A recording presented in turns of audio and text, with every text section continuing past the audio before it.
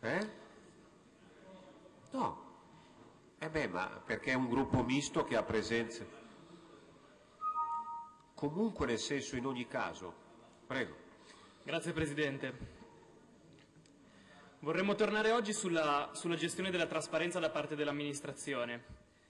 Eh, per due considerazioni che si possono considerare dal nostro punto di vista tecniche. La prima riguarda l'opportunità di dare un segnale inequivocabile di volontà politica contro il malaffare e la corruzione.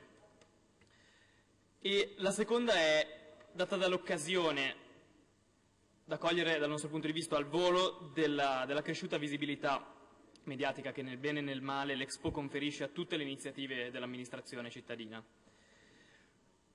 Come abbiamo avuto modo di riportare in una recente riunione di Consiglio, Transparency International segnala che la trasparenza è l'arma più efficace contro la corruzione e il malaffare.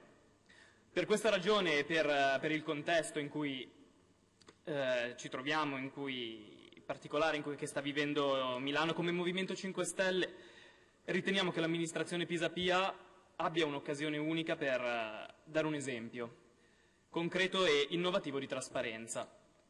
Entrando nel merito della questione, nel, eh, alla, al 28 luglio 2014, la data odierna, eh, dall'Albo Pretorio risultano pubblicate per l'anno 2014 23 delibere di Consiglio e 1407 delibere di Giunta. Sulle 1430 delibere totali, quindi, eh, sono di Giunta il 98,4%, mentre di Consiglio Comunale solo l'1,6%. Di questo 1,6 delle decisioni, quelle del, di, quelle del, Consiglio, esiste un video verbale e la diretta streaming. Del 98,4% restante delle decisioni, quelle di Giunta, non esiste verbale né ovviamente la possibilità di assistere in streaming alle riunioni. Ora, partendo da questi dati, quindi 98,4%, 1,6%, a tre anni di distanza dall'insediamento della, della Giunta Pisa-Piami eh, noi ci rivolgiamo nuovamente eh, con un invito a dare attuazione alla promessa elettorale sulla trasparenza effettiva eh, dei, nei percorsi decisionali, che a pagina 17 del programma di Pisapia e della sua maggioranza recitava perseguire la democrazia effettiva, dove il dovere dell'informazione è premessa del diritto all'informazione e prerequisito sia per la trasparenza effettiva dei percorsi decisionali, trasparenza effettiva dei percorsi decisionali, in questo caso le delibere di giunta, che per la più ampia interazione tra cittadini e decisori. Bene, come Movimento 5 Stelle Milano avevamo eh, richiesto di rendere pubbliche le riunioni di giunta nel maggio 2012 come ripreso all'epoca da Affari Italiani, e successivamente ancora nel gennaio 2013.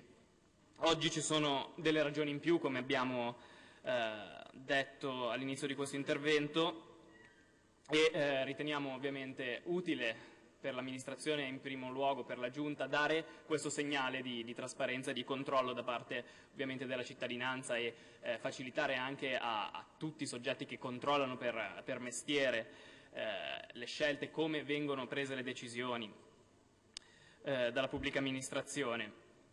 A questo punto, oltre ovviamente a tutte le motivazioni legate a Expo 2015, la corruzione, la lotta alla corruzione.